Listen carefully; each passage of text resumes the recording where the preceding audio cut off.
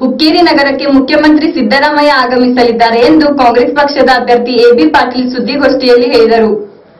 ಹುಕ್ಕೇರಿ ನಗರಕ್ಕೆ ಶನಿವಾರ ಮಧ್ಯಾಹ್ನ ಕಾಂಗ್ರೆಸ್ ಪಕ್ಷದ ಅಭ್ಯರ್ಥಿ ಎಬಿ ಪಾಟೀಲ್ ಪರವಾಗಿ ಪ್ರಚಾರ ಕೈಗೊಳ್ಳಲು ಮುಖ್ಯಮಂತ್ರಿ ಸಿದ್ದರಾಮಯ್ಯ ಆಗಮಿಸಲಿದ್ದಾರೆ ಎಂದು ಮಾಜಿ ಸಚಿವ ಎಬಿ ಪಾಟೀಲ್ ಹೇಳಿದರು.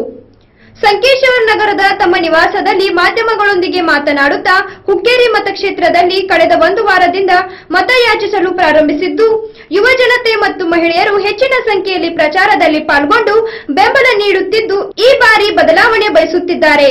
ಈ ಸಲ ಕಾಂಗ್ರೆಸ್ ಗೆಲುವು ನಿಶ್ಚಿತ ಹಾಗೂ ಎಬಿ ಪಾಟೀಲ್ ಶಾಸಕನಾಗುವುದು ಖಂಡಿತ ಎಂದರು. ಮುಖ್ಯಮಂತ್ರಿಗಳು ಆಗಮಿಸುವ ದಿನ ಕ್ಷೇತ್ರದ ಜನತೆ ಹೆಚ್ಚಿನ ಸಂಖ್ಯೆಯಲ್ಲಿ ಪಾಲ್ಗೊಂಡು ಸಮಾವೇಶವನ್ನು ಯಶಸ್ವಿಗೊಳಿಸಬೇಕೆಂದರು. ಎರಡು ಸಾವಿರದ ಹದಿನೆಂಟು ಮೇ ಹನ್ನೆರಡರ ಕರ್ನಾಟಕ ವಿಧಾನಸಭಾ ಚುನಾವಣೆ.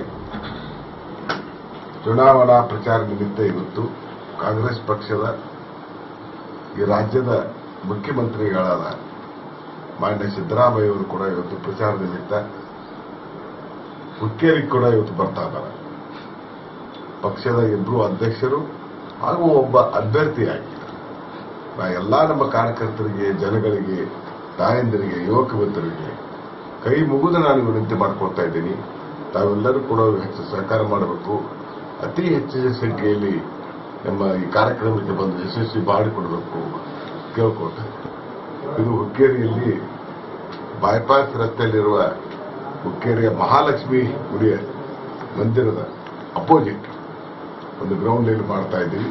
ದಯವಿಟ್ಟು ತಾವೆಲ್ಲರೂ ಹೆಚ್ಚಿನ ಸಂಖ್ಯೆಯಲ್ಲಿ ಬಂದು ಈ ಕಾರ್ಯಕ್ರಮವನ್ನ ಯಶಸ್ವಿಗೊಳಿಸಬೇಕಂತಕೊಂಡು ತಮ್ಮಲ್ಲಿ ವಿನಂತಿ ಮಾಡಿ ಸರ್ ತಾವು ಪ್ರಚಾರಕ್ಕೆ ಹೋಗ್ತಾ ಇದ್ರಿ ಯಾವ ರೀತಿ ಜನಸ್ಪಂದನೆ? ನಾನು ಕಳೆದ ಎಂಟತ್ತು ದಿವಸಗಳಿಂದ ಪ್ರಚಾರ ಕೈಗೊಂಡಿದ್ದೆ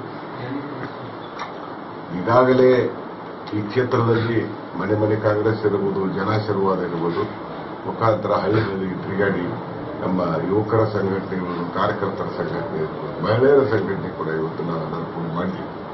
ನಮ್ಮ ಪಕ್ಷದ ಅಧ್ಯಕ್ಷರು ಎಲ್ಲಾ ಘಟಕದ ಅಧ್ಯಕ್ಷ.